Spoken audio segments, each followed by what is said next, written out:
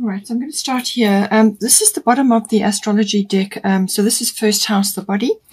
So this is about your, obviously your physical vitality, your life force, your chi.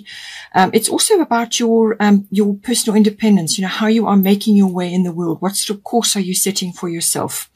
Um, it's also your personal hobbies and interests.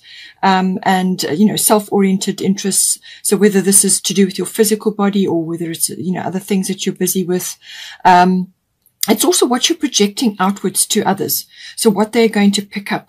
So now whatever you are going through is going to be, um, the opposite side is going to be the seventh house, which you've got here. So whatever you are going through is going to be reflected in your seventh house. So anybody that's really close to you at this time is going to obviously be affected. Um, so this may be, um, obviously a physical thing. Possibly you are changing something or you are, um, you know, uh, sort of uh, deciding on something for yourself, a course of action which you'd like to take. You may be moving forward with something, or you just may be focusing more on what it is that you want to do at this time. So your self-oriented interests, or you could be changing your appearance all of these um, things can come in. But if it is uh, physical related and, you know, just keep your energy levels high, um, you have got uh, sensitivity here. So you may be having some ascension uh, symptoms. You may be, um, you know, um, changing. We all are. But, um, you know, you may just be going through a, a patch where you are just really sensitive at this time. And this may be, a, you know, a sign for you to actually take care of yourself, your physical body, and um, perhaps change something or perhaps go through a different routine. You know, maybe it's related to exercise or something like that. But certainly what you are going through on the inside is going to be reflected um, into your relationship. So there's going to be a balance which is uh, required there.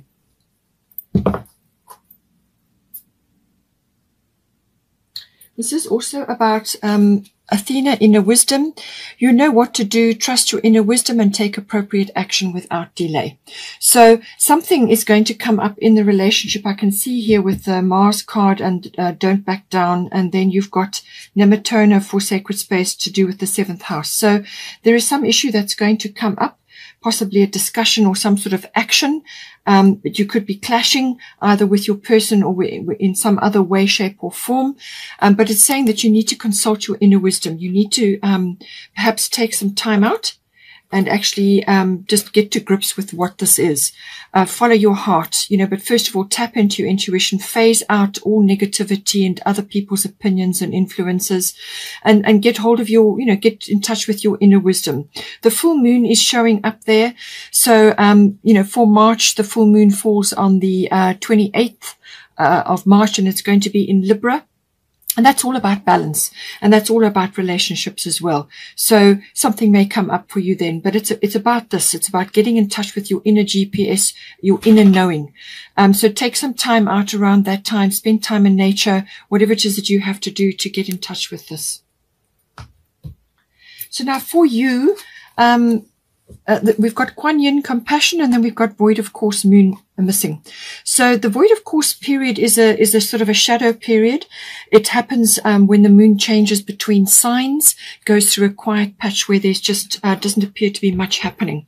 So um, that is that indicates that all is not what what it seems all right so you may just be going through a patch it could last for maybe a week or maybe longer you could be going through a patch where it's time to rest um, to retreat, rest, uh, recover. So recover from certain things that may be happening around you. And um, perhaps maybe you're just tired and that's why the first house is coming up. Your life force or your energy levels may just be a bit low. So this is a rest and recovery period if that is applicable for you, but it can also be like a dreaming and a planning period. So this is for some uh, action that you want to initiate. Now you've got Mars coming up in the situation. So there is something coming up. Um, this is an action or something that you want to initiate, but don't do it while the void of course moon is in action. This is a time to just stay as you are, but spend time in relaxation and spend, spend time in rest, dreaming and planning. All right. It's not a time for be, to be taking big actions or initiating big things simply because you will get the wrong result or no result. All right. Uh, so just um, take a, you know, just carry on with your normal routine. Don't put in energy into um, you know, into things that you, um, that are important to you. Just stay neutral, um, during this phase And uh, as I said, things may not be what they seem. So um, this is just a, just a period to, to just just let things flow, and wait until this period has passed, and then you can um, you know do whatever else needs to be done. So with the Kuan Yin compassion, it's saying release judgments about yourself and others and focus on the love and light that is within everyone. So this obviously applies to your person, but it can also apply to other things that may be externally influencing the relationship at this time. And um, it's just about waiting for the right time right time to initiate something. Um, but in the meantime, just be in the compassionate mode. Yet again, a full moon is coming up. So this seems to be important for you. Um, and just keep coming back to this energy. All right. This calm, this peace, this neutral state, neutral state.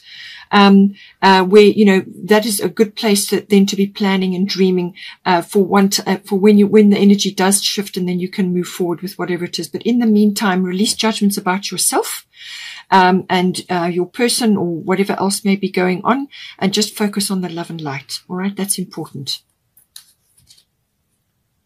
Then for your person, uh, we've got Irene Peace. Um, there is no need to worry as everything is working out beautifully. And then we've got Libra Eye Balance. So this is the commitment card. This is the marriage or the engagement engagement card.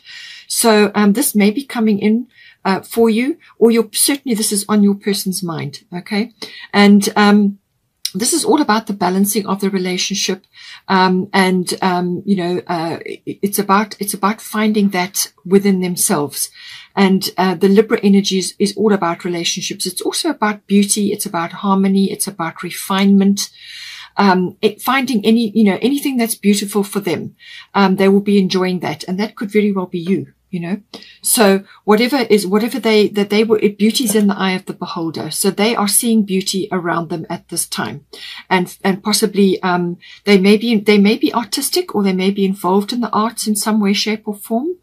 Um and um you know this may just uh, be sort of influencing them in some way but certainly they've got the relationship and the dynamics of the relationship on their mind. Um, and then irene is just saying that um, whether you are worrying about this or they are worrying about it, they, they, they just need to take a step back from that because everything is being handled. Um, this is a lovely calm energy. There's a lot of water, so there's emotion. Um, but the dolphins are there, which is always about joy and happiness and playfulness. right? So be at peace. The person, your person needs to be at peace and perhaps you need to be at peace with them. Um, no need to worry. Everything is being handled and is working out beautifully. So just release. They need to release worries and so do you um, because whatever's going on, um, you know, the, the, relationship is on their mind, but there's, this is about balance. All right.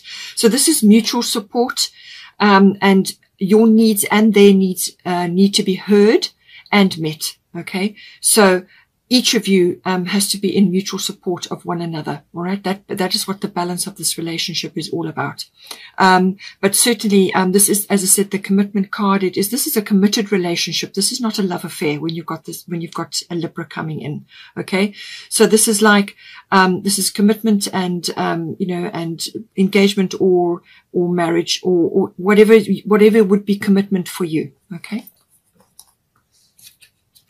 Then um, something else is coming now. There is a situation happening at the moment. We've got Mars force. So this could be a number of things. This could be impatience um, on, on, in, in, within the relationship. So, so, this can be impatience with things not moving forward quickly enough. And certainly with void of course moon, this is a time to plan. All right. This is not a time to be taking action. So you've got to, you've got to find ways to deflect this um, strong energy to do. All right. Because this Mars is the god of war.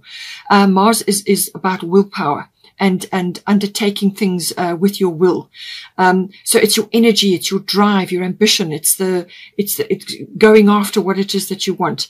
It can also be um, um, uh, the rise of um, desire and sexual expression. So this could be coming in as well, um, or it, it, it, could just be an, a general impatience with things not moving forward as as quickly as as you would like, or just that each of you are feeling this desire and this feeling this need to to to move forward, but it's just not possible at you know just initially at this time. But it's a time for dreaming and planning initially until you get the go ahead. Um, but it could also be, as I said, um, dealing with different um, ego concerns. Um, it can also be that one or other of you is being a bit bossy um, or just uh, demanding. Um, or trying to force something. So just think about that, see how it relates to your relationship. Um, but um, whatever it is, this is a time, um, don't back down. So stand up for what you believe is right. So whether this is you or your person, or um, it could be that you're uh, together facing a situation. So don't back down. This is about um, nurturing your either within the relationship or one or either of you. Um, this is about nurturing what is important to you um, or within your relationship. This is about nurturing that, growing that, dedicating time and energy to that and not allowing um, other negative things or other aspects to come in to detract from that. All right.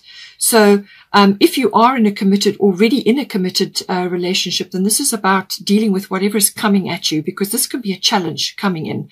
This can be a challenge um, or some kind of defense that is required. Um, but it's it's also about standing firm, but not but not uh, but still moving forward, but not forcing to such a degree that everybody gets annoyed or um, that there is um, you know that the resistance starts to set in. Okay. This is about moving forward in, in a constructive and measured way. All right. Sort of tempered steel. All right. But it's, it's, it's one step at a time, but moving forward. All right. With pace, but, but not rushing around erratically and, um, getting things, um, you know, sort of, uh, rushing around and, and, and, and not actually getting anywhere. The best, best way is measured constructive action. But as I said, it could also be dealing with a bit of impatience. But this is saying don't back down on things that are important to you as a couple or to each one of you, whichever it is. Uh, find resolution. All right. Um, and um, come to some sort of agreement about what needs to be done. But each one of you, your both of you, your needs have to be met, and this is why your person who's got Libra eye balance in their in their um, their cards, and also you've got the seventh house, which is the house of partnerships, and Libra rules the seventh house. All right. So balancing of the partnership is very, very important at this time. So it's about coming to um, a place of agreement, um, a place where each of you are supporting each other, that you've got each other's backs and that um, you, you're mutually supportive. That's what you need to do. But in order to do that, each one of you has to make your needs heard um, and understood um, and talked about, you know, clearly. Um, but if this is an external challenge that you're facing within your actual relationship, then it's saying to you, don't don't back down from what is important, okay? Um, and have your best interests and your and your relationship's best interests at heart.